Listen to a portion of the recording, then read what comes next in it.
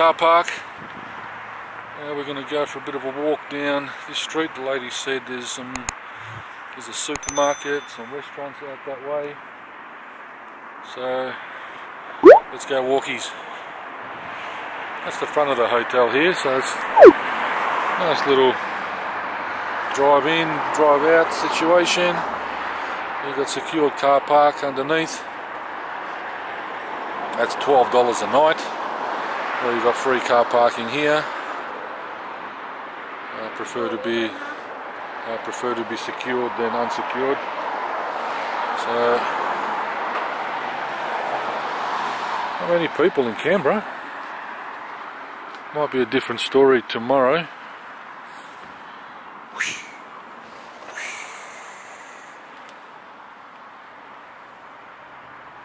Rydges. That was real quick. Not even two minutes.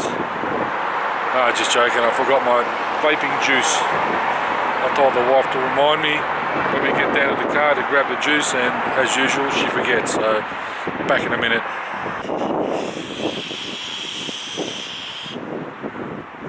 All good.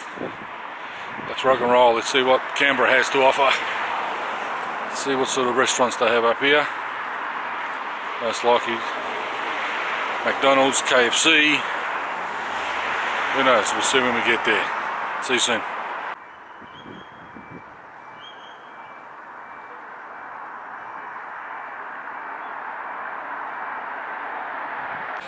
Okay, so we've come to the steakhouse, which looked pretty good. The menu looked reasonably priced.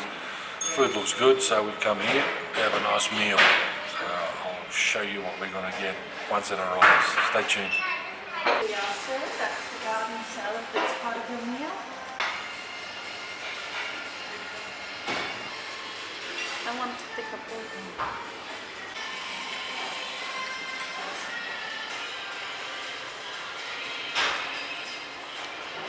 Okay, we've done with our meal. Steakhouse in, um, I think it's Capital Hill here in Canberra. Very nice. Um, out of a 10 overall, probably give it like a, a 9. Really nice food. Just the pork, the, what do you call it, the roasted pork belly.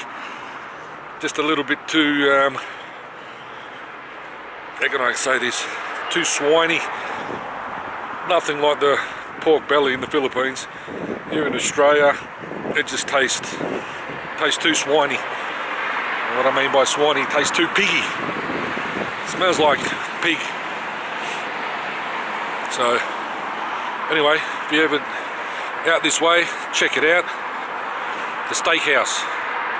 Uh, it's sort of in between McDonald's and the Mexican um, Mexican place check it out. I'm going to put this camera away because it's absolutely freezing here. I think I last checked it, it was about 2 degrees. If it was raining, it'd be snowing. So I'm going to put this away, and put my hand in the pocket because it's freezing. The wife's tripping here. She can't handle this heat. so I'm going to put the camera away and let's get back to the hotel room. See you there. Okay, so we're back in our room. Um, yeah, nice meal at the steakhouse. Um, just cold. If you plan on coming to Canberra in August, bring your ski clothes. That was freezing. Only a five minute walk from the the um, the steakhouse.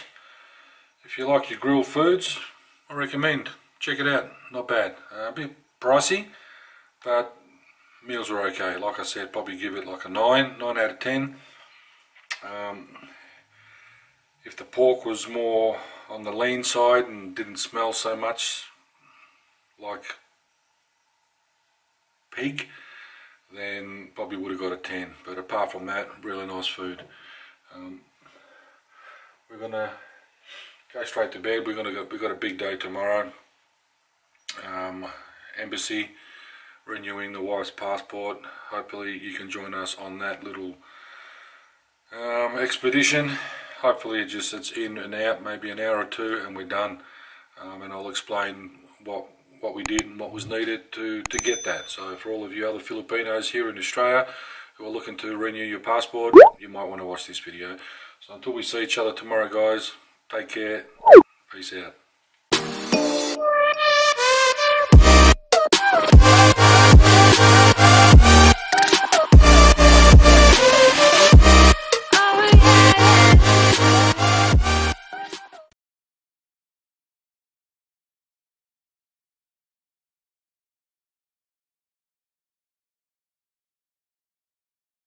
You